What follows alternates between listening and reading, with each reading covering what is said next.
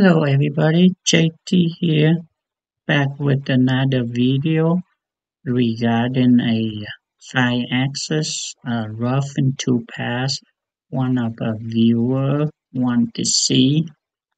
But the thing is, I think it depends on the part that you work. Sometimes you need, sometimes you don't.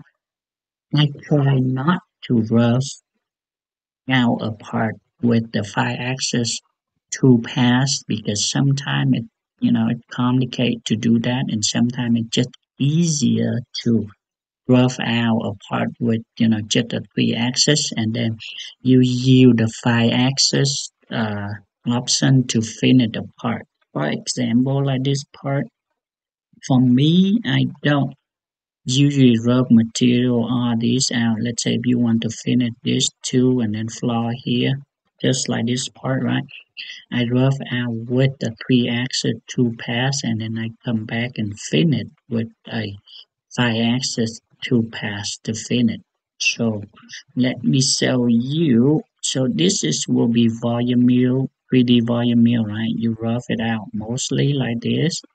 And then you cut you come back with uh, a semi finish with you know rough material leave some material and then this one will be a finished to pass the finish the plate here.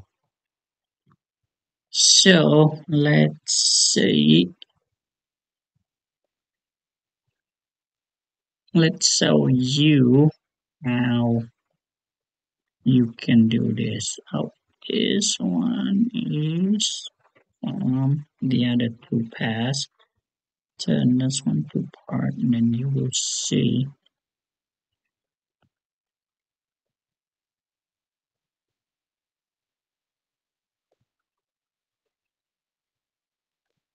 Rope just a three axis, you know, two pass, nothing really fancy.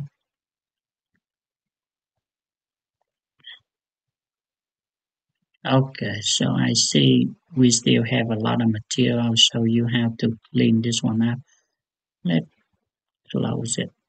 Okay, so in here, the three axis two pass, as you can see, the two doesn't go all the way to bottom and rough this one out because of the option that I pick in here, I use in here, it's too big, but let me show you quickly how 3D volume mill is and then you can use it. So when you use 3D you can select the whole thing, the bottom of this will be just you know mark and then click somewhere over here and then use this option right here you stock. Everything else just work like a you know a 2D volume mill.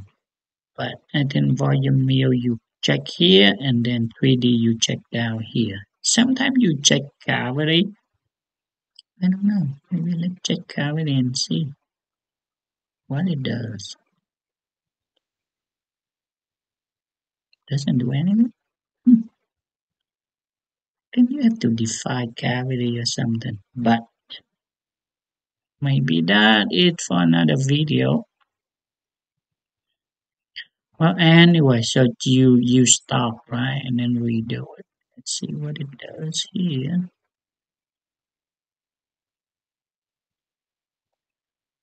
Oh. Okay, try again. Everything else should be up. This. Okay, let's do this one first. And I'll show you. Okay, so this one right here, you can see, you don't see the two paths go all the way down here to rub the material. So in here, since I put it too big, right, doesn't work with the, the, the, the surface down here. So you have to tie this one down. Sometimes it depends on material, but you know, sometimes I tie even smaller than this. And then you will see what I mean.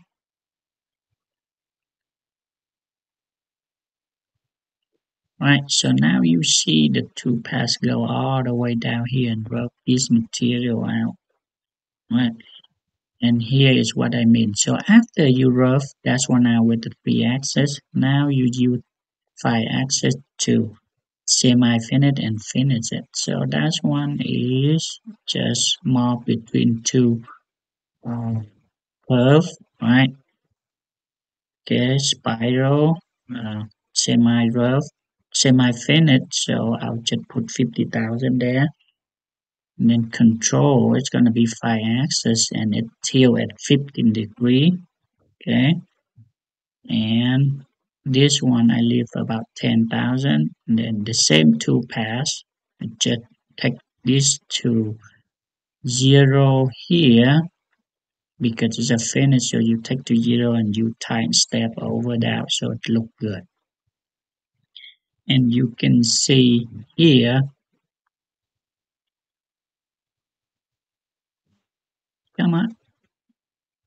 okay here we go. So rough out right? Mostly. And you can see the oh, it go all the way down here already so you still have a lot of you know stock here to finish but what I mean is just you know you three exit easy symbol to rough all this stuff out. You don't have to use five axis to pass to rough this guy apart. and now here's the finish to pass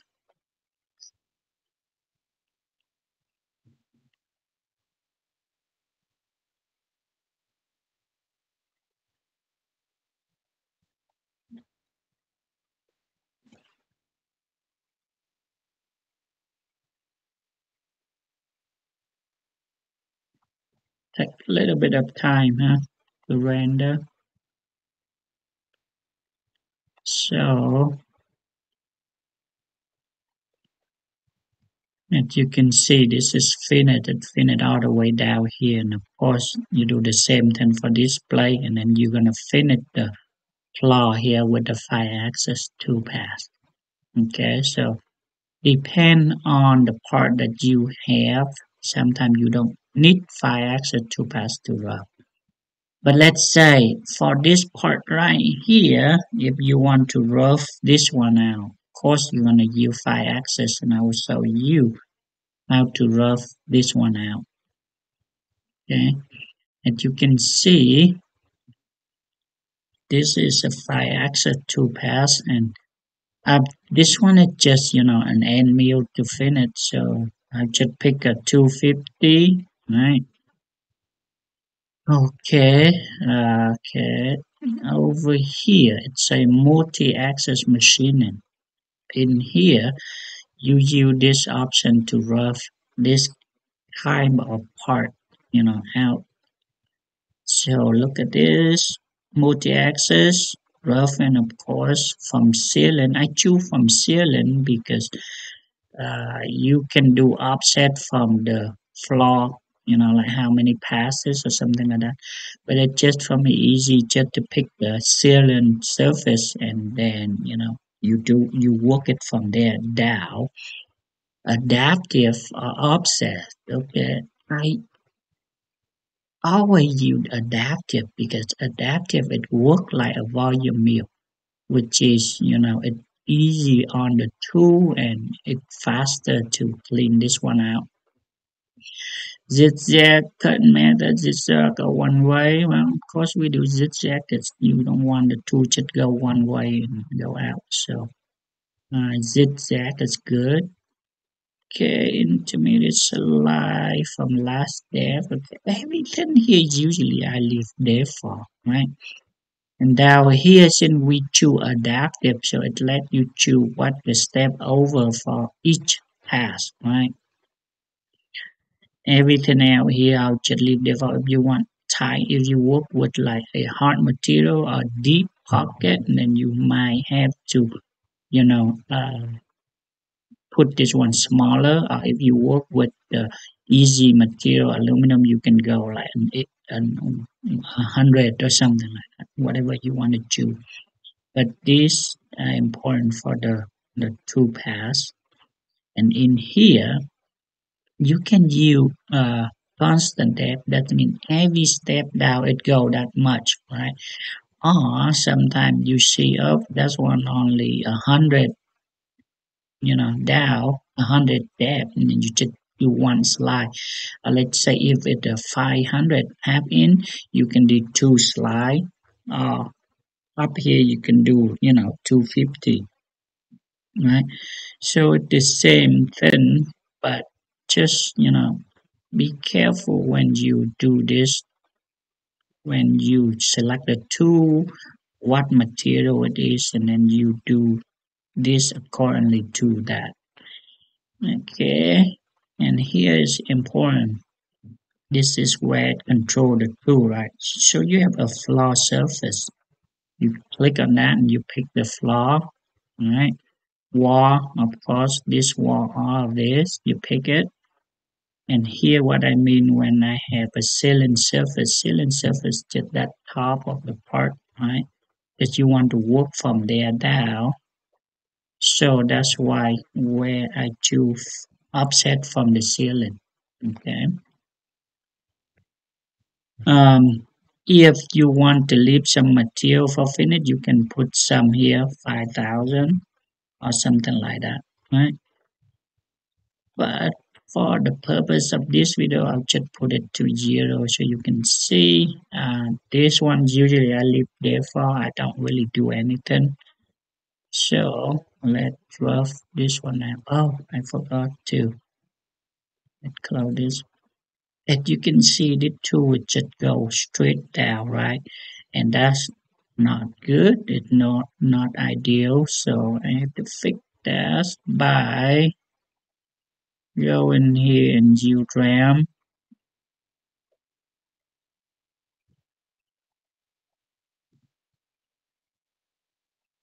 Okay, now you can see the two paths ramping down, which is it's safer for the tool and it you know you don't break the tool.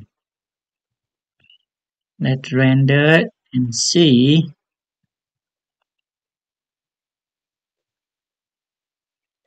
I have to turn this one to part so you can see it better. Okay.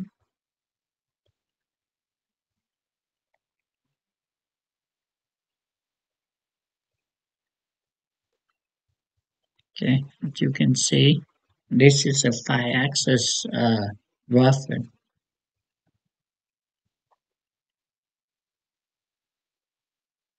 Since we don't leave material, so that's why you see it cut all the way here. But if you leave material, then you can fin it with, you know, a, uh, I think the wall here, you have to fin it with a swarf to pass.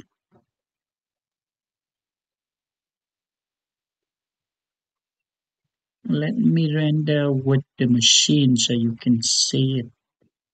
You have better understand or better, uh, so you can visualize easier. Okay. Oh boy. Come. Okay.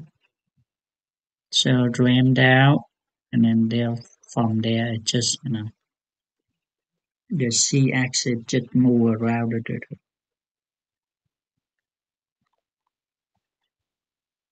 Okay, let's see. Is it on the way? Why is it so slow? Okay.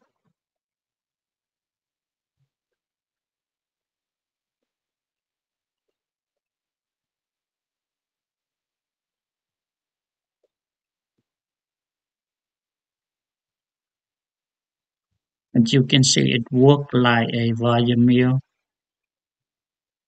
So that's the reason why I selected, uh, you know, adaptive. This offset, you know, offset it works sometime, but this one I want to cut. Since I only select one, you know, all the way step down, and then I think the adaptive work better.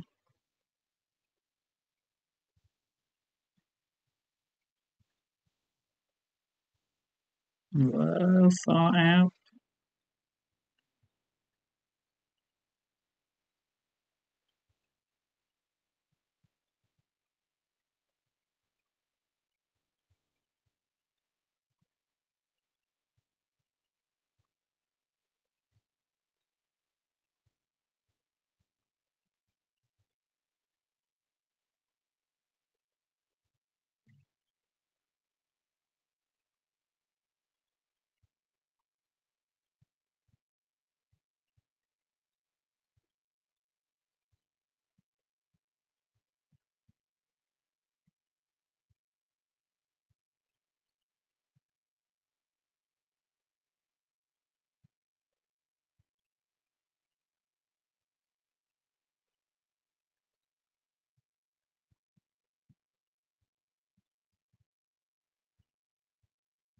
Alright, so I think you get the idea, right? So it's not, for me, it's not always good to rub a part out using a 5-axis modular 5 5-axis to pass depend, but that's how you rub a 5-axis part out if you want to use it, okay?